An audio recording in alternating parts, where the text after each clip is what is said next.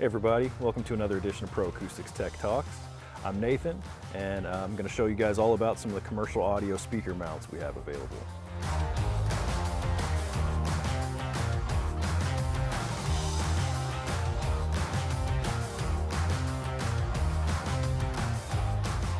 All right, so when designing a new commercial audio system, whether it be for a, a restaurant, um, a distributed audio system in your church, uh, a retail store, anything like that, it's important to think through at first uh, what kind of speakers we want to use. Do we want to use wall-mounted speakers, hanging pendant speakers, in-ceiling speakers, that kind of thing.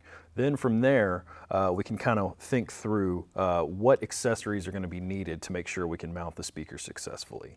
Uh, typically those are the three types, wall mount, hanging pendant, and in-ceiling, uh, but some different hardware can be needed. Normally a wall mount speaker um, is going to come with some form of U-bracket or wall mount that we can use to uh, mount it to the wall.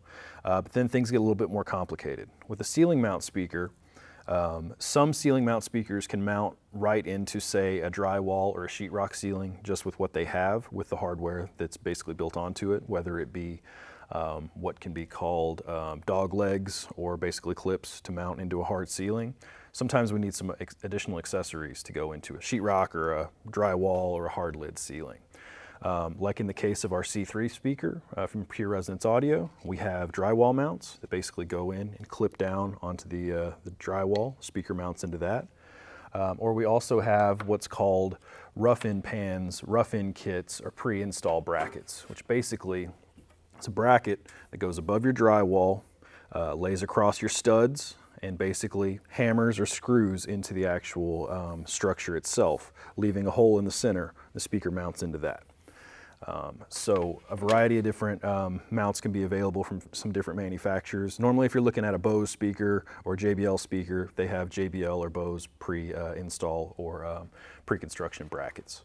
Um, when we're going into drop tile or acoustic tile, we have a different range of brackets. Um, normally, most speakers can't go into an acoustic tile ceiling without some additional hardware. An exception to that is our Pure Resonance Audio C3 speaker, which does have the threaded back can that can tighten right up, up to um, the acoustic tile, and the speaker is rated for um, to be mounted into the tile itself.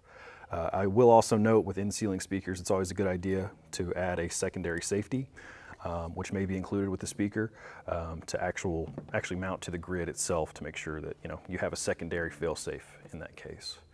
Um, other times, uh, when the speaker is too heavy to be supported by the tile, um, and you're not using a C3 or something light like that, many times we need what's actually called a tile bridge. This actually lays across your 2x2 uh, or uh, 2x4 grid. Uh, there are versions that are four feet wide if you have a 4x4 tile or something like that. Uh, reach out to, that, uh, to us if you have that situation. But basically, this lays across your tile speaker gets mounted inside and then mounts to the actual tile bridge itself, which helps to support the weight. Uh, sometimes uh, other speakers, rather than doing a tile bridge, may use what's called tile rails and a C-ring. Basically, these tile rails lay across your um, T-bar ceiling, and then from there, the C-ring lays across the rails, mounts your speaker into that. So that's kind of uh, another option that you have as far as drop tile um, mounts go.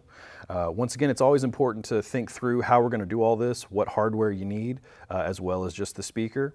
Um, if you have questions about what you need, um, we always make sure to include all the hardware uh, as much as possible for your system solution. Once again, I'm Nathan. Till next time, guys.